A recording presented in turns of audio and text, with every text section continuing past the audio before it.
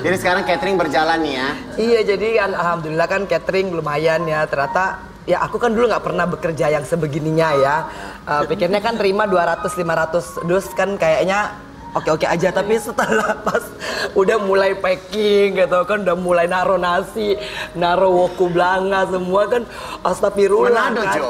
Manado. Oh, ah. kita di Senin ada di sini ada Senin berkah, Jumat berkah. Oh. Ayo pesen lah. Lu ganti, lu dong waktunya menunya itu mulu. Lu ganti. Orang udah Menado orang dong, udah di Mas. bayar, tinggal makan doang.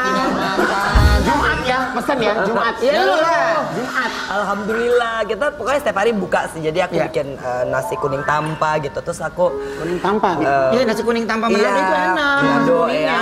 Pokoknya sambal rawa, cakalang, and so on and so on. Oh, lala.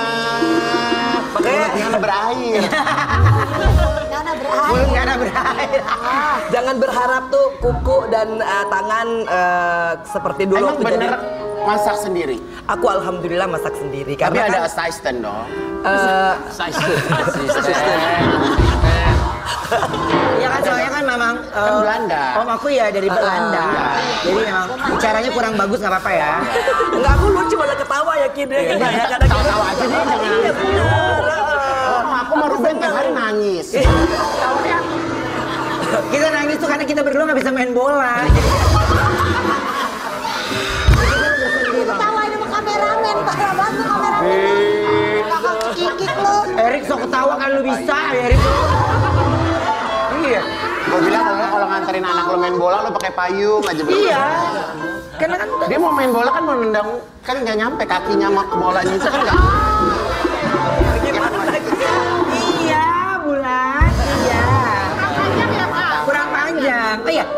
Matahari gua nggak boleh panggil bulan lagi. Paula nanya, Paula nanya apa? Iya sayang. panjang kan? Kurang panjang, iya benar.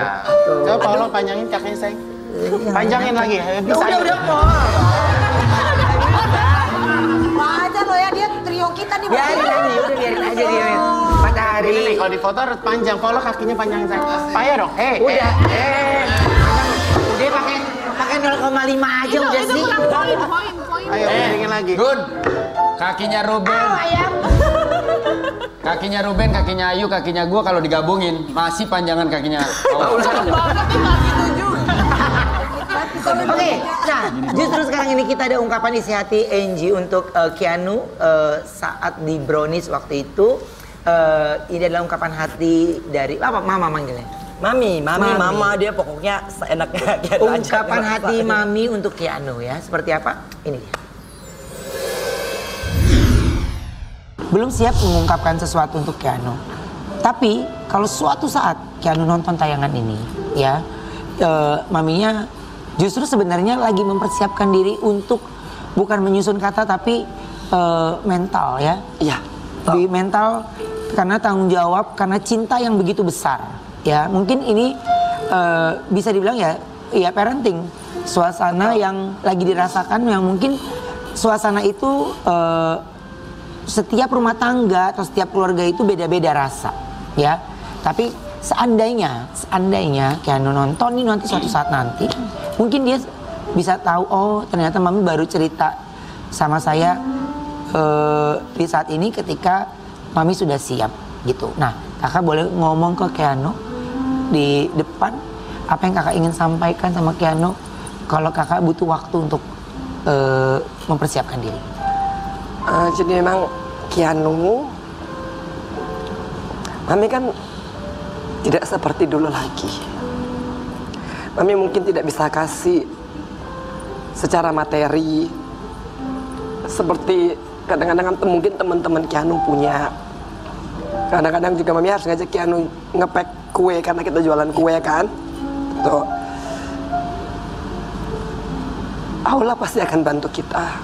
Dan hidup biasa enak juga kok Kianu. Keanu ini eh, mami ngungkapin sesuatu ya bagaimana cinta lebih lebih lebih dan lebih lagi untuk Keanu. Keanu mau bicara apa sama mama? Hmm. Mami nggak usah ribet-ribetin ya. Mami fokus aja ke kerjaan. Aku udah bisa itu, udah sekolah, udah bisa hidupin diri aku sendiri. Jadi mami nggak usah ribetin sama aku, ribetin sama sekolahnya, sama sama kerjaan mami aja.